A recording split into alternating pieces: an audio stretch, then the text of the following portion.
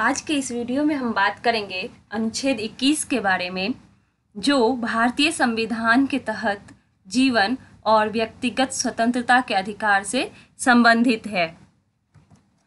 कोई भी व्यक्ति ये नहीं चाहता है कि उसके लाइफ में कोई दूसरा अनुचित रूप से हस्तक्षेप करे। और प्रत्येक व्यक्ति जो है अपने हिसाब से जीवन जीना पसंद करता है। और ये उनका अधिकार भी है। और हमारा संविधान भी इस अधिकार को महत्व देते हुए भाग तीन में मौलिक अधिकार के तहत अनुच्छेद 21 के रूप में नागरिकों को जीवन और व्यक्तिगत स्वतंत्रता की रक्षा के अधिकार की गारंटी देता है। अनुच्छेद 21 में प्रावधान है कि किसी भी व्यक्ति को कानून द्वारा स्थापित प्रक्रिया के अलावा उसके जीवन या व्यक्तिगत स्वतंत्रता से वंचित नहीं किया जाएगा और इसे जीवन और व्यक्तिगत स्वतंत्रता के अधिकार के रूप में जाना जाता है। यह अनुच्छेद राज्य के विरुद्ध किसी व्यक्ति के जीवन और व्यक्तिगत स्वतंत्रता के अधिकार पर अतिक्रमण को रोकता है। राज्य की परिभाषा अनुच्छेद 12 में दी गई है और इस पर अलग से वीडियो बनाया गया है। यहाँ पर राज्य का तात्पर्य है, वैधानिक अधिकार रखने वाली सभी संस्थाओं से है, जैसे केंद्र और राज्य स्तर पर सरकार, संसद, स्थानीय प्राधिकरण आदि। और इस तरह से निजी संस्थाओं द्वारा अधिकार का उल्लंघन इसके दायरे में नहीं है। एक चीज़ और ध्यान में रखना है कि किसी भी निजी व्यक्ति द्वारा किसी अन्य व्यक्ति के इन अधिकारों का अतिक्रमण करना अनुच्छेद 21 का उल्लंघन नहीं होता है। और इस मामले में जो पीड़ित व्यक्ति है, उसके समस्या का उपाय अनुच्छेद 226 के तहत या फिर सामान्य कानून के तहत होगा।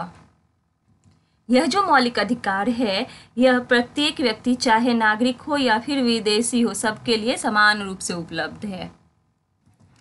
अनुच्छेद 21 से जुड़े कई महत्वपूर्ण मामले हैं, जिसमें से कुछ केस के बारे में हम यहाँ अध्ययन करेंगे।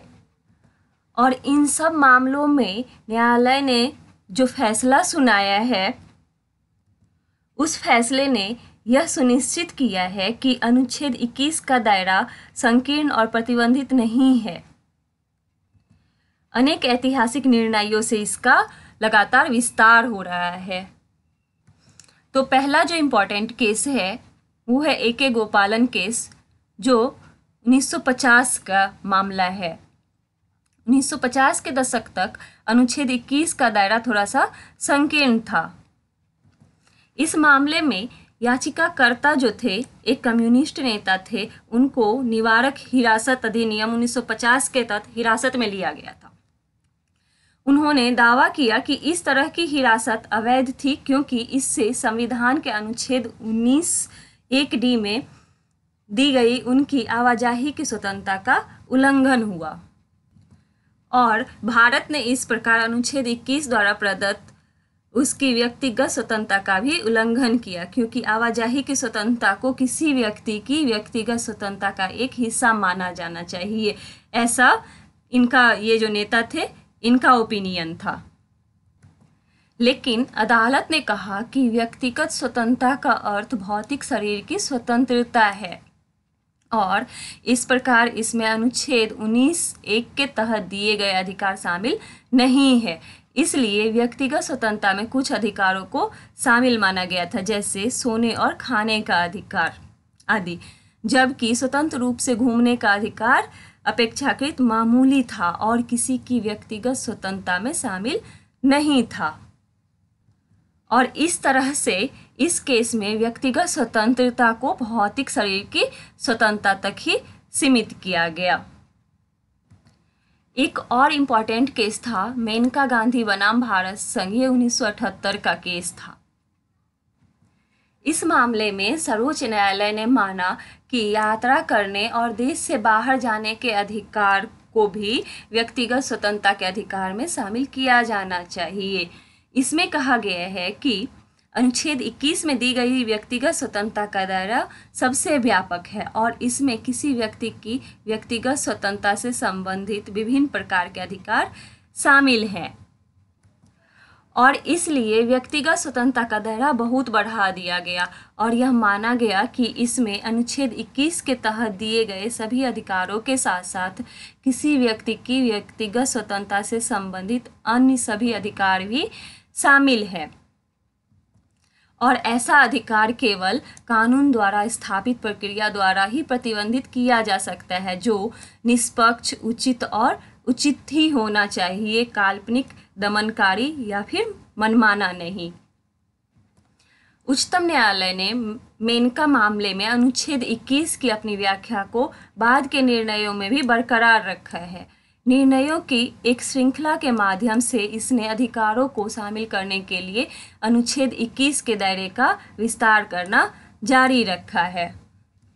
समय के साथ साथ अनुच्छेद 21 के अंतर्गत बहुत सारे अधिकार शामिल किए गए, जिसमें से कुछ इम्पोर्टेंट अधिकार जो है, यहाँ पर डाला गया है।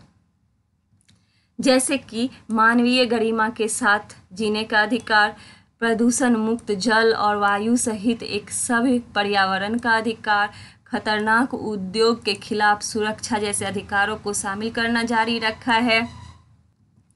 जीविका का अधिकार, निजता का अधिकार, आश्रय का अधिकार, स्वास्थ्य का अधिकार, चौदह वर्ष की आयु तक मुफ़्त शिक्षा का अधिकार, मुफ़्त कानूनी सहायता का अधिकार।